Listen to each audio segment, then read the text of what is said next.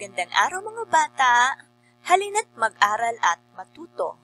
Ang ating aralin ay apat na pangunahing hugis na may dalawa at tatlong dimensyon. Ang layunin ng aralin ito ay malalaman mo na may iba't ibang hugis ang mga bagay. Matututuhan mo rin ang pagsuri sa apat na pangunahing hugis na may dalawa at tatlong dimensyon.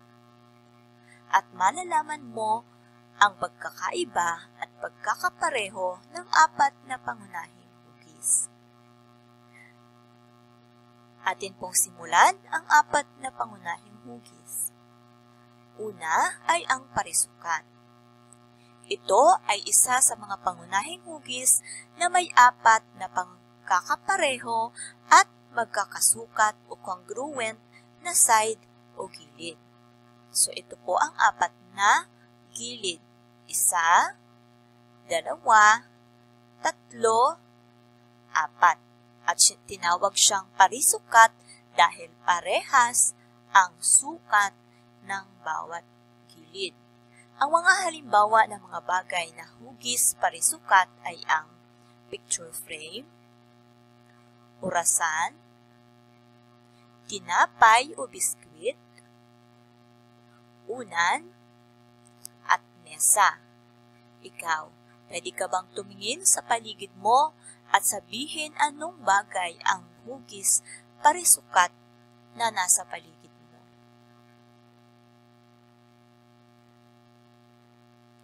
mahuhusay mga bata. At ang pangalawa naman ay ang parihaba. Isa rin ito sa mga pangunahing hugis na may apat na side o gilid. Mayroon itong dalawang dimensyon na magkapareho o magkaiba ng sukat at haba. Ang tawag sa dalawang dimensyon ay ang kanyang length at ang width. So ito, ito parihaba ay parehas ang haba ng dalawang side. So, itong dalawang side na ito, or dalawang gilid, ay parehas ang haba. Ganon din ang dalawang side. Kaya siya tinawag na parihaba.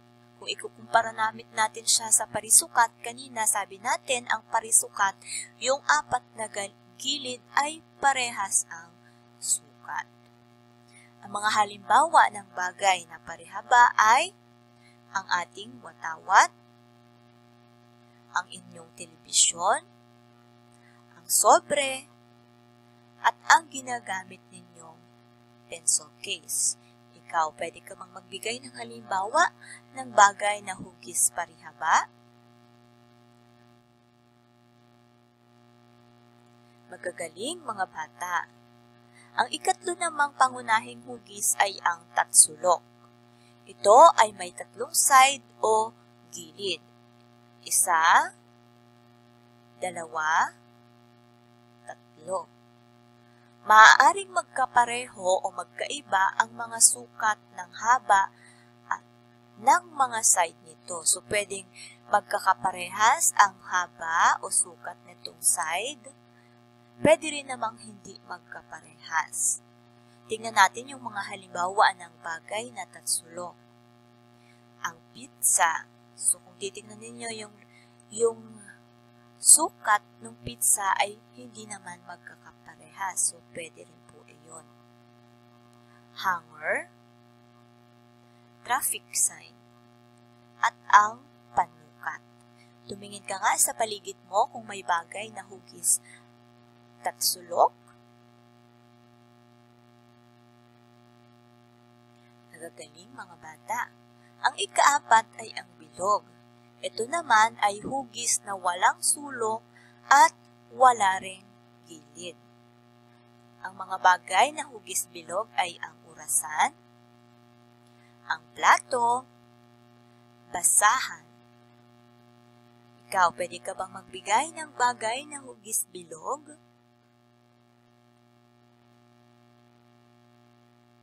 Mahusay, mga bata.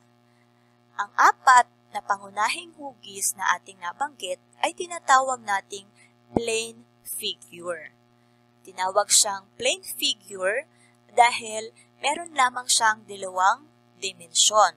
ang kanyang length at width. Ano-ano po yung mga plane figure? Ito po yung parihaba, parisukat, tatsulok, at bilog. Meron din naman tayong tinatawag na solid figure. Yan ay ang cube, cone, prism, cylinder o cylinder, at ang sphere. Tinatawag silang solid figure dahil ang hugis na ito ay may tatlong dimensyon. Ang length, width, at height. Atin pong isa-isahin ang mga solid figure. Una ay ang cone. Ito ay isang solid figure o isang hugis na may tatlong dimensyon. Ang length, width, at height. Ang katumbas ng cone sa plane figure ay ang tatsulok. Ano-ano po yung mga cone? Una na dyan ay ang apa. Pwede rin naman ang Christmas tree, ang ating Toblerone or ang tsokolate, at yung mga traffic sign tulad nito. Pangalawang solid figure ay ang cube. Ito rin ay may tatlong dimensyon na length, width, at height. At ang hugis na mukha ng cube ay ang hugis parisukat. So, ang halimbawa ng hugis cube ay ang dice, ang rubric cube, at ang kahon. Meron ka bang nakikita sa paligid na pwedeng sabihin na hugis cube? Okay, magaling. Ang pangatlo ay ang prism. Ito naman ay, ay solid figure din na may tatlong dimensyon din, ang length, width, at height. Ang mukha nito ay prism at ito ay katumbas ng parihaba o parisukat sa plane figure. Ang halimbawa ng prism ay ang aquarium, ang kahon, ang ating oven, at ang laruang ito ay mga halimbawa ng prism. Pang-apat ay ang cylinder or cylinder. Ito rin ay solid figure dahil meron itong length, width, at height. Ang mukha ng prism ay hugis parihaba. Ito yan. Yung katawan niya ay hugis parihaba. Pero yung kanyang base, yung kanyang ilalim at ibabaw ay hugis bilog. Ang tawag dito sa solid figure na ito ay cylinder. So, ang halimbawa niyan ay ang lata, Pwede rin ang kandila, ang tasa, pwede rin ang baso at ang mga timba. Pwede ka bang magbigay ng halimbawa ng hugis cylinder?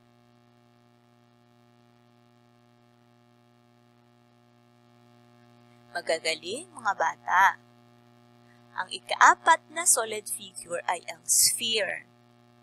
Ito naman ay meron ding tatlong dimensyon, ang kanyang length, width, at height. At ang, ang hugis na sphere ay katumbas ng solid figure niya sa plane figure ay ang hugis below. So, ang halimbawa ng sphere ay ang kahel, pwede rin ang holen, ang bola, at ang globo. Ano pa bang halimbawa ng sphere na pwede mong ibigay?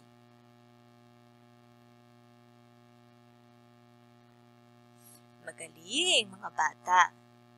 Ngayon naman, ay gumuhit or magbigay ng bagay na kumakatawan sa mga sumusunod na hugis. Anong bagay ang hugis prism?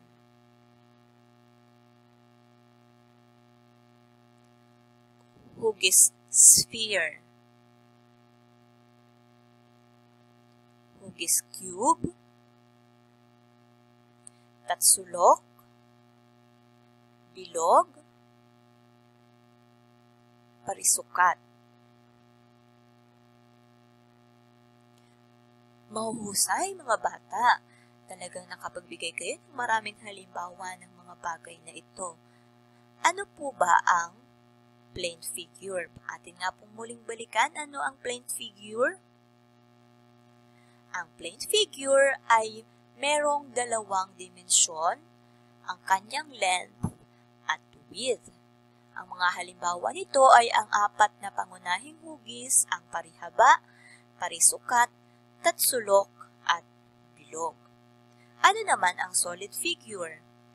Solid figure naman ay may tatlong dimensyon, ang length, width, at height.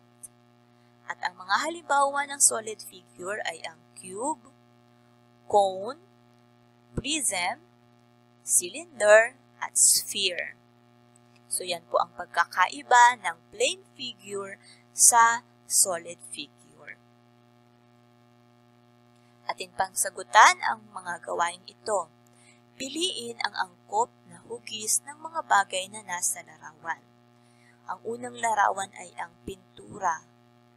Ano kaya ang katumbas nitong hugis sa plane figure? Letter A or letter B?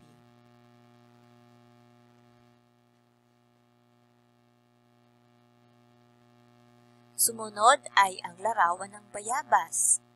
Anong katumbas niyang hugis, A or B?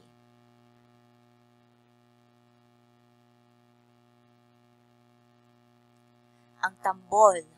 Anong katumbas nitong hugis, A or B? At panghuli ay ang itlog. Ang katumbas ba nito ay ang parihaba o ang biluhaba? Mahuhusay mga bata. Ang ating sa panggawain, iguhit ang tamang hugis na kumakatawan sa mga larawan ng bagay na nasa kaliwa. So, ang mga bagay na nasa kaliwa ay ang baso, kahel, kahon, ang aquarium, ang pantasa, at ang bola.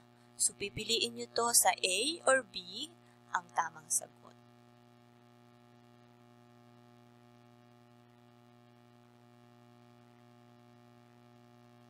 Magagaling mga bata, nakuha ninyo ang sagot sa anim na item.